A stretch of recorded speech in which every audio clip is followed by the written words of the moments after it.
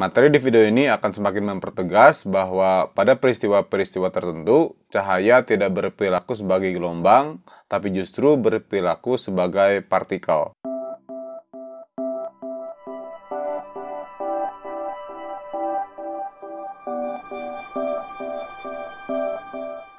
Di kehidupan kita sehari-hari, tidak ada yang membingungkan mana partikel dan mana gelombang. Partikel adalah sesuatu yang memiliki massa, dan jika bergerak tentunya dia akan memiliki momentum. Nah, sedangkan gelombang adalah sesuatu yang memiliki panjang gelombang. Namun di dunia mikroskopik, kedua sifat ini, partikel dan gelombang, itu menjadi samar. Ada kalanya gelombang berperilaku sebagai partikel, namun ada kalanya juga partikel berperilaku sebagai gelombang. Jika pada video sebelumnya yang linknya saya cantumkan di kolom deskripsi yang ada di bawah, saya membahas mengenai efek fotolistrik, yang mana kita menganggap bahwa cahaya tidak sebagai gelombang, tapi lebih menganggap cahaya sebagai partikel. Nah, pada bahasan kali ini pun kita akan melihat lagi sifat partikel dari cahaya adalah Arthur Holly Compton yang pertama kali mengamati peristiwa ini melalui suatu percobaan yang sketsa percobaannya seperti ini. Sinar X yang panjang gelombangnya diketahui dilewatkan ke celah lalu kemudian diarahkan ke sebuah target yaitu tepatnya elektron dan lalu kemudian di sekeliling target itu disimpan detektor sinar X. Nah, yang jadi aneh adalah di detektor tersebut terdeteksi sinar X yang gelombangnya bertambah panjang. Itu artinya bahwa energi dari sinar X tersebut berkurang. Nah, hal ini tidak bisa dijelaskan jika kita menganggap bahwa sinar X itu adalah gelombang. Bagaimana mungkin suatu gelombang yang menabrak elektron, lalu kemudian energinya berkurang? Maka ini kembali lagi harus dilihat bahwa sinar X itu adalah partikel. Bagaimana sketsanya? Kira-kira seperti ini. Sinar X yang tadi panjang gelombangnya diketahui, datang dengan membawa energi sebesar HF. Dan momentum dari sinar X tersebut menurut Broglie adalah HF per C. Ini adalah momentum untuk gelombang. Lalu kemudian sinar X tersebut mengenai sebuah elektron yang anggap saja sedang diam. Energinya sebesar mc kuadrat dan momentumnya tentunya nol.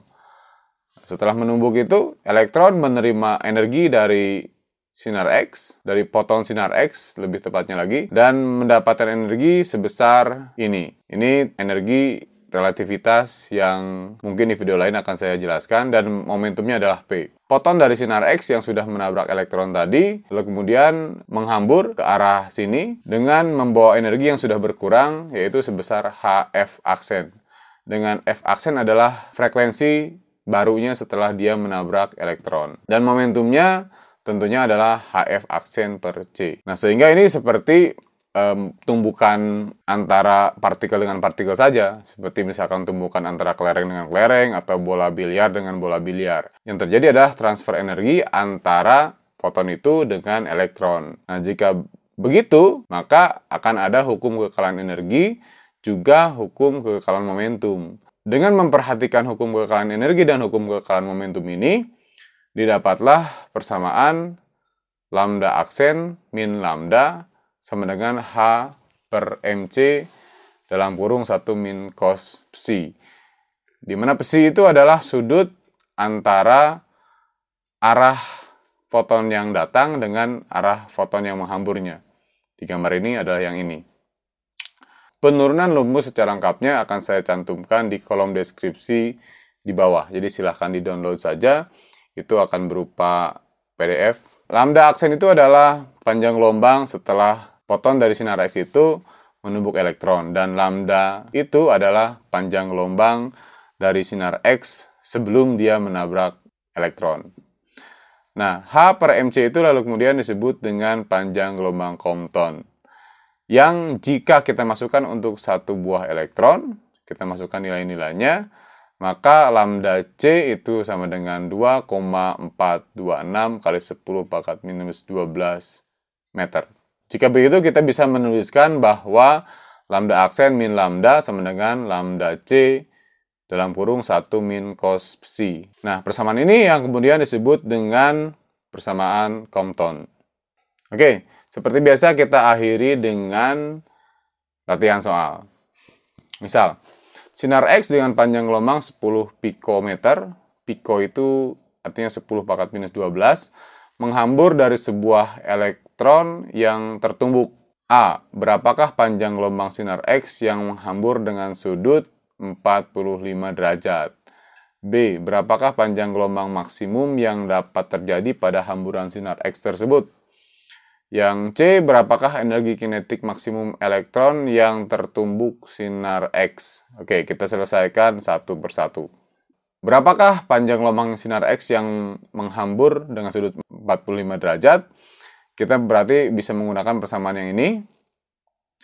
Karena di sini dia menumbuk sebuah elektron, maka kita bisa memasukkan lambda C yang tadi kita dapatkan yaitu 2,426 itu. Sehingga jika kita masuk-masukkan, sudutnya 45 derajat, dan hasilnya menjadi 10,7 pikometer.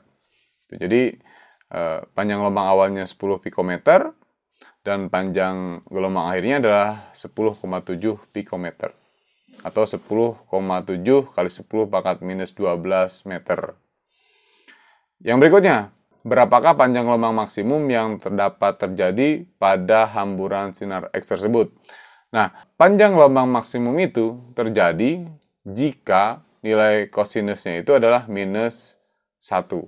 Karena jika kita tambahkan 1 dikurangi minus 1, itu akan menjadi 2. Eh, berarti kalau begitu sudutnya adalah sudut hamburannya harusnya 180 derajat. Oke, jika berarti jika sudut hamburannya 180 derajat, maka panjang gelombang maksimumnya itulah yang akan dicapai oleh sinar X tersebut. Sehingga kita bisa masuk-masukkan lambda aksen sama dengan lambda ditambah lambda C 1 dikurangi minus 1. Sehingga persamaan menjadi seperti ini. Dan kita masuk-masukkan berarti lambda aksen maksimumnya adalah 14,6 eh, sorry 14,9 pikometer. Yang berikutnya, berapakah energi kinetik maksimum elektron yang tertumbuk sinar X? Energi kinetik elektron itu adalah energi energi yang ditransfer oleh sinar X terhadap elektron. Nah, jika energi kinetik maksimum itu berarti terjadi ketika perubahan panjang gelombangnya maksimum, yaitu yang terdapat pada jawaban yang B tadi. Nah, energi maksimum itu itu berarti H dikalikan perubahan frekuensinya. H dikali F min F aksen. Atau HC dikali 1 per lambda min 1 per lambda aksen. Nah, karena lambda awalnya itu adalah 10 pikometer atau 10 pangkat minus 12 meter dan lambda yang maksimumnya tadi adalah 14,9 pikometer, sehingga jika kita masuk-masukkan akan mendapatkan energi maksimum elektron yang dapat terjadinya ya yaitu adalah 6,54 kali 10 pangkat minus 15 joule.